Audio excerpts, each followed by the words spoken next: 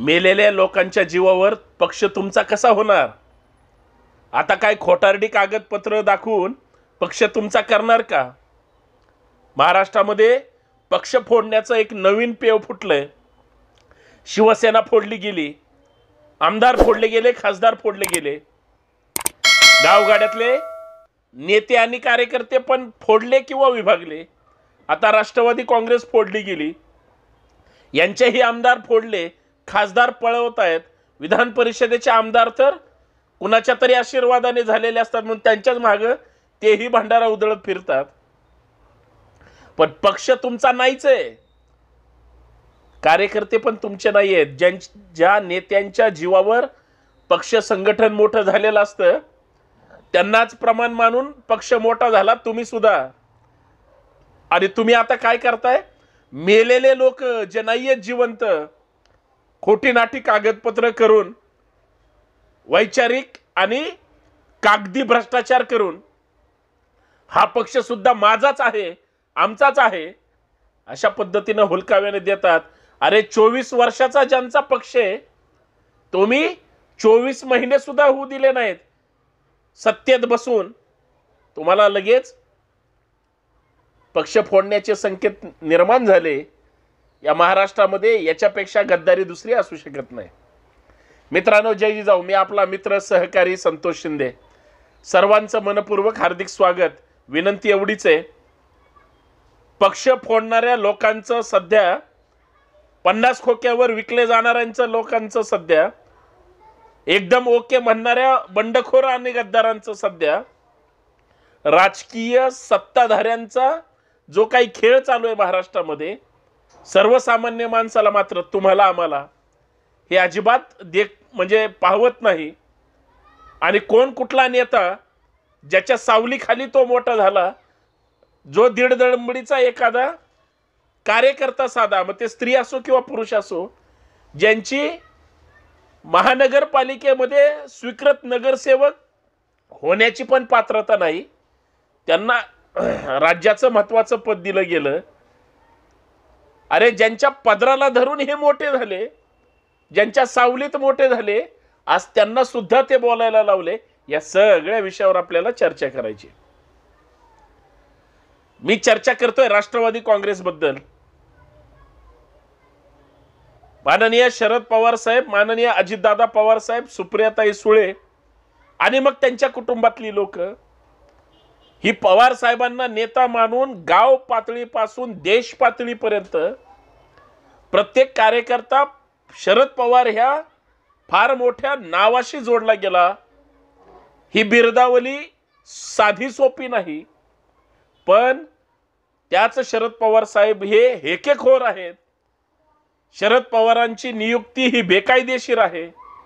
आणि सगळ्यात महत्वाचं शरद पवार हे पद सोडायला तयार नाहीत रिटायरमेंट घ्यायला तयार नाहीत आणि आम्हाला सुद्धा काम करू देत नाहीत अशा पद्धतीचं निवडणूक आयोगासमोर आज जे वक्तव्य झालं आणि मागच्या दोन चार दिवसाचा माध्यमातला मग ते टेलिव्हिजन मीडिया असेल प्रिंट मीडिया असेल किंवा समाज माध्यम असतील इथं जो चर्चा आणि ट्रेंड सुरू आहे त्याच्यातून एक गोष्ट लक्षात येते की शिवसेना फोडली भगदाड पाडली आणि शिवसेनेचं अस्तित्व डळमळीत करण्याचा प्रयत्न केला.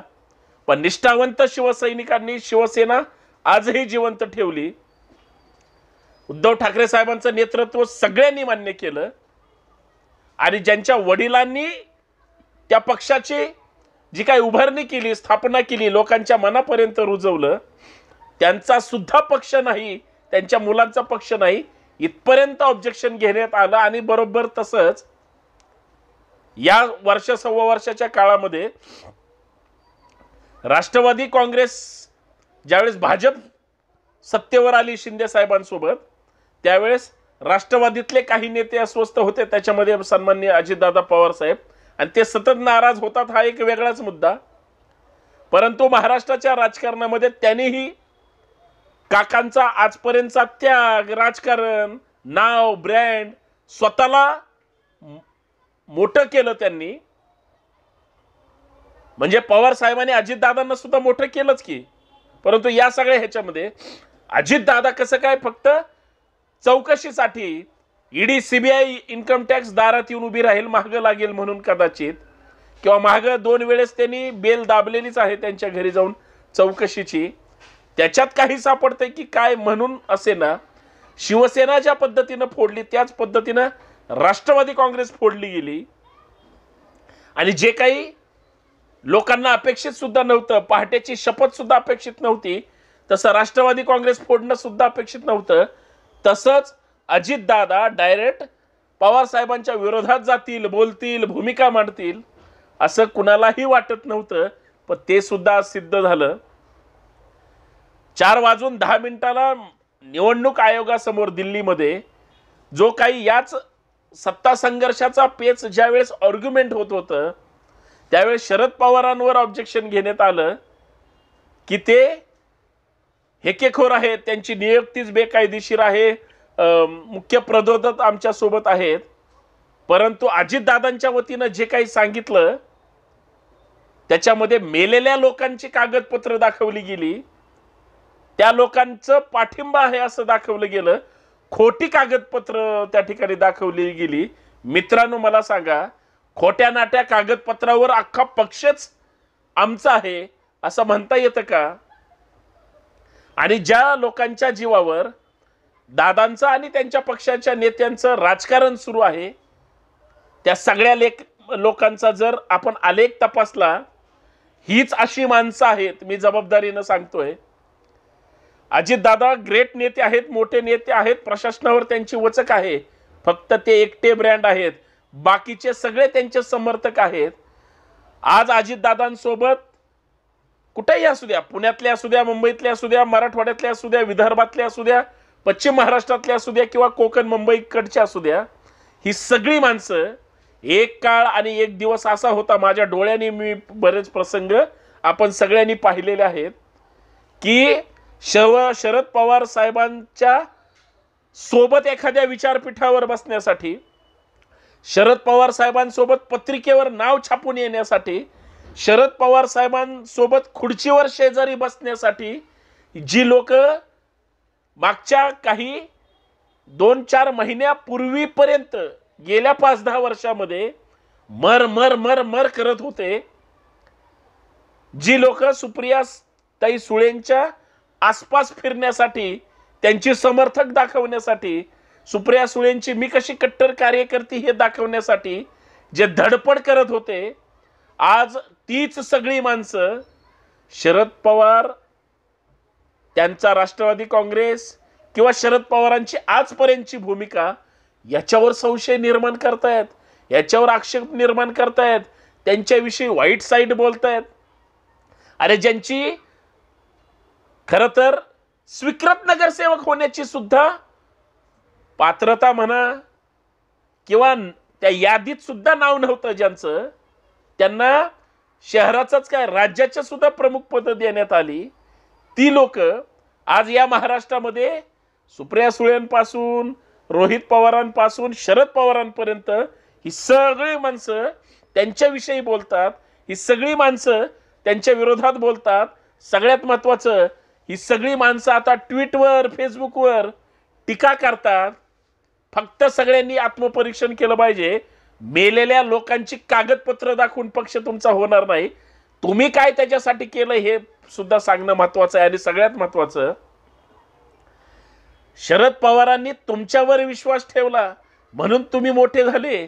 अन्यथा तुम्ही झाले नसते. किंवा अजितदादांनी तुमच्यावर विश्वास ठेवला प्रेम दाखवलं. म्हणून तुम्ही मोठे झाले नाही तर तुम्हाला काय किंमत आणि महत्त्व नसतं. अन्यथा पुण्या किंवा इतर जिल्ह्यांमध्ये असे काही मोठे मोठे होर्जिंग लागत होते आणि लागले होते.